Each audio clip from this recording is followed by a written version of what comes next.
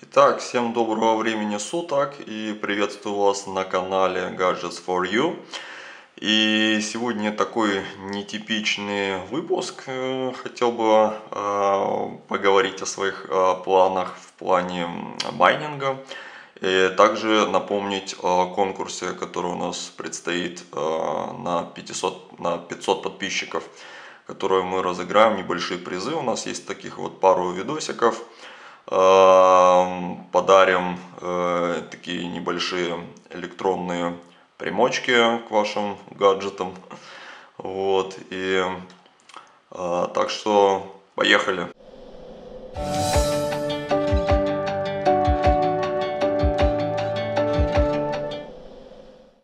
Итак, как я сказал, у меня такой сегодня нетипичный выпуск. Э, снимаю сейчас без штатива. Может быть, немножко будет картинка дребезжать, но я надеюсь, не сильно.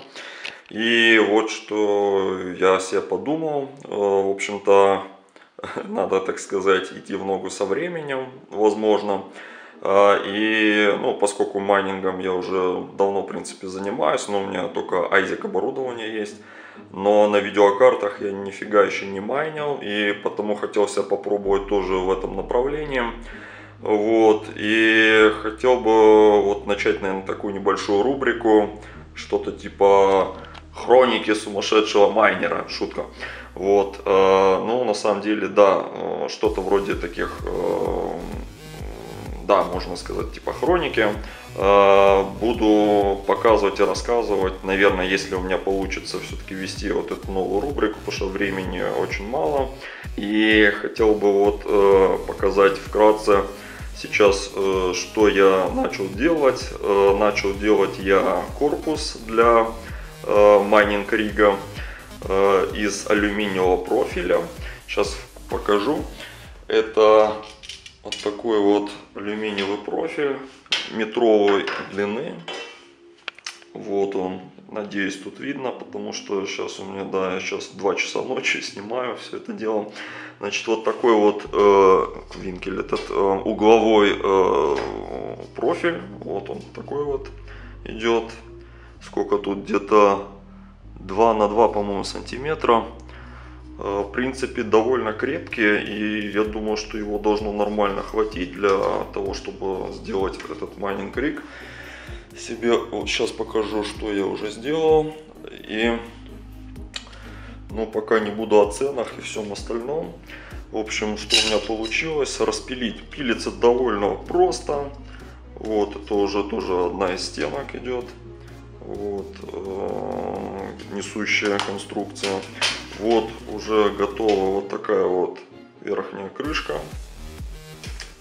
Вот она идет. И вот там внизу нижняя находится. Решил делать это не на заклепках, а на винтах, чтобы если что можно было раскрутить и сложить и протранспортировать в каком-то другом, ну и собрать где-то в другом месте. Вот это выглядит вот так приблизительно. Надеюсь, что видно. Вот. Теперь э, вкратце тоже хотел бы коснуться э, некоторых тем, которые я хотел бы тоже осветить э, здесь у нас на канале. Это, например, э, какие кошельки использовать, как их использовать, это облачные кошельки или хранение, э, так сказать, холодное хранение у себя на жестком диске или SSD диске, как это перенести на, внешнюю, на внешний жесткий диск. Вот, э, я, например, предпочел э, для хранения своих там криптовалюты это внешний э, SSD диск для быстрой синхронизации, например, биткоина. Но вот, кстати, 120 гигабайт уже сейчас недостаточно и нужно какое-то другое решение, то есть поемче. Потому что хочу напомнить, что уже блокчейн как бы перешагнул далеко за 120 гигабайт. И сейчас последняя синхронизация была у меня, по-моему, 150 гигабайт весит. То есть уже недостаточно, пришлось лить на классический жесткий диск. Э, синхронизация немножко затянулась, но да, пока не знаю, буду ли покупать SSD. Но, в принципе, советую, если холодное хранение. Вообще советую не хранить никогда, особенно если у вас больше одного биткоина или какой-то более ценной криптовалюты, то есть в каких-то форках, не хранить на этих всяких э, облачных хранилищах, потому что то деньги куда-то у них там вечно пропадают и, в общем, можно попасть. Вот, потому я для, давно для себя решил такой вот вариант. Но покупал этот SSD диск я давно, еще в 2014 году.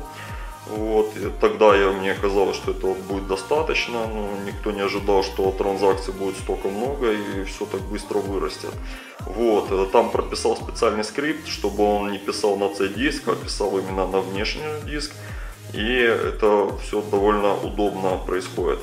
Также сделал недавно с Monero и тоже могу поделиться опытом в этом направлении. В принципе, там ничего сложного нету. Вот, э, что касается дальше.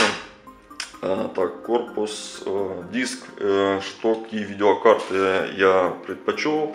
Это Power Color, две штуки я приобрел. Radeon RX 560. Не знаю, правда, насколько хорошее решение, потому что кстати говоря, карточка мне приехала не совсем такая, как я заказывал. А, я заказывал себе с двумя вентиляторами, двумя кулерами. Приехала с одним кулером и еще, к сожалению, без дополнительного питания. Вот это был полный облом.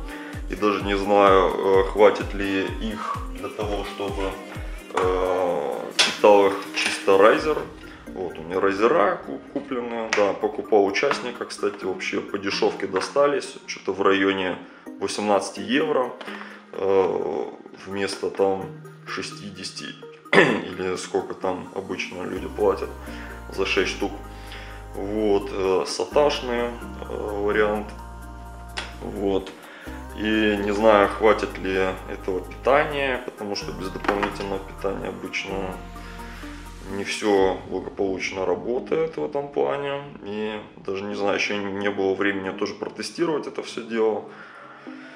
Даже не знаю, не знаю, не знаю. Будем смотреть.